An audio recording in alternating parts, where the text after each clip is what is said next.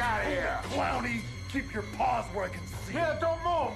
Or I'll blast the holes the size of a, a Kansas City watermelon through your ugly ass bozo face! What the fuck is that supposed to mean? Go grab that other asshole out of the shitter and drag his ass back in here. Right. You miserable motherfucker. I ought to jump over this counter and bash your fucking balls in. All right, Tippy, hand over the cash box and I might leave your brains inside your skull. Well, I'll tell you what, Ski King.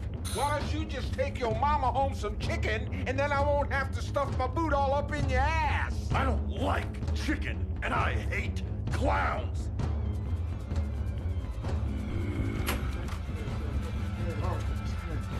Together on this. Here, I got all this. Put that shit down. All right. Put it down. Fuck. Is. I'm gonna count to ten, and you're gonna hand over all the cash, or I'm gonna splatter your grease paint mug across the state line.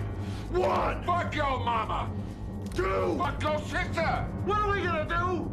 Hey, I know you. You work at the hardware store, right? Richard Wick, right? Shut your trap! Quiet down, both of you. Three. Fuck your grandma. I remember now. All the guys made fun of you. Call you Little Dick Wick. Sh- shut up! Little Dick Wick, play with his brick. Don't the smell just make you sick? Stop singing! I hate that song! Your Fucking mask back on. Fuck it.